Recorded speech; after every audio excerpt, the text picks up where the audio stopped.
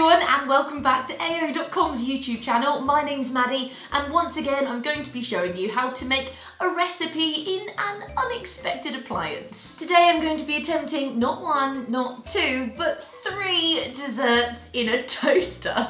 But before we start, I'd like to put out a warning. Never ever, ever, ever put metal things in a toaster, ever.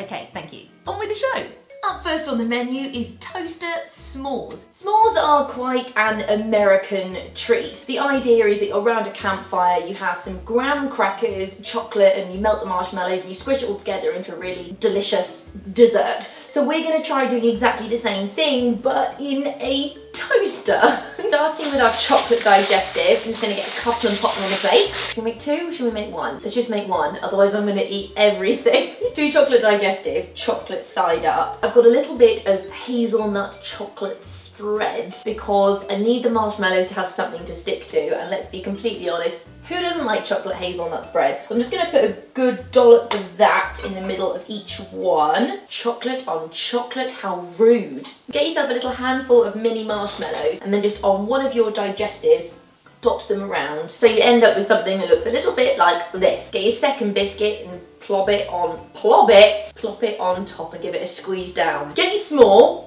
and put it in the toaster bag. Yeah. Next, put your toaster bag in your toaster, like this.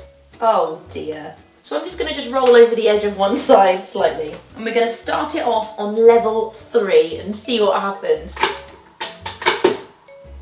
do the toaster dance, do the, do the toaster dance. Someone has got to take these away from me. I'm all by myself in my flat, what can I do? I just have to keep eating them.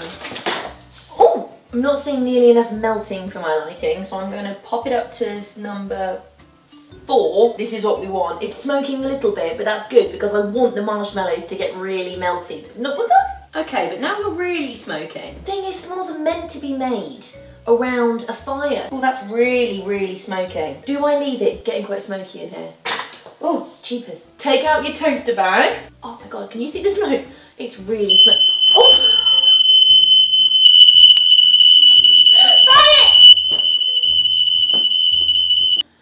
About that, folks. Panic over, let's see what's happened. So I think that this might be a little bit too burnt. Second time lucky, I've made up another s'more and this time we're just gonna do it at level three, okay? And then we're gonna take it straight out. Done. Yeah! yes! Let's give it a taste. Mmm. That one is naughty. I give that three out of five toasters. Dessert number two is mojito grilled pineapple. First up, get your pineapple rings and open up your can. Put in two pineapple rings. Squeeze your toaster pocket sort of like this so you can get your hand in there and take yourself four or five sort of sprigs of mint and just pop a few in the middle of each of the rings. then get yourself a sprinkling of brown sugar. Pop that inside each ring. Doesn't matter if you do it quite messily because it's all gonna come out anyway. And now it's time for the booze. This bit's optional but I've gone with some coconut flavoured rum. Ah, and just pour in, pour in half a shot's worth. That'll do, oh my word, maybe a bit too much. Squeeze it in, and again, pop it to level three, and let's see what happens. No, Maddie, come on. Not out of the bottle. Yes, this looks really good. That smells like a mojito. Oh, yummy. Okay, get yourself a little fork and then just leverage, leverage, leverage out your pineapple and just place that onto your plate with a little blob of ice cream. Use your pocket as a bit of a pourer and just pour some of that yummy sort of mojito-y, sugary juice over the pineapple and ice cream. Oh, Yeah! This is our mojito grilled pineapple with a little bit of ice cream. That's really good. That would actually be really nice layered up in a glass. I would say four and a half toasters.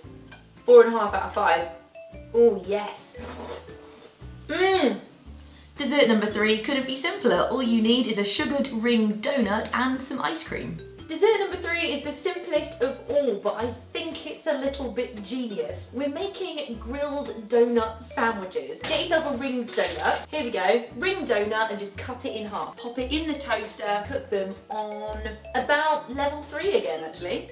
Oh my gosh, now that smells beautiful. Should we put some chocolate spread in these sandwiches?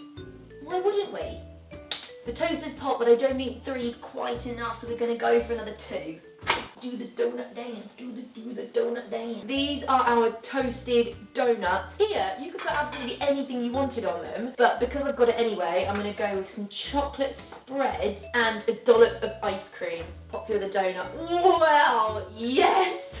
You want to eat these straight away because they're warm and the ice cream's melting. That is five out of five toasters.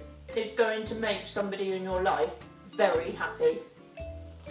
So which of those three desserts was your favourite? Let me know in the comments below and we can have a vote. If you like this video, make sure you give it a thumbs up, subscribe, and I'll see you next week.